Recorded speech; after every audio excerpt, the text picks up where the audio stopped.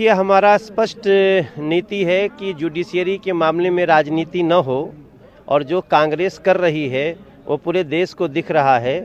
ये दुर्भाग्यपूर्ण है कांग्रेस का रवैया। कांग्रेस कितना भी कोशिश कर ले, भारत का लोकतंत्र इतना मज़बूत हो चुका है कि अब ये कांग्रेसी तोड़फोड़ देश में चलने वाला नहीं है।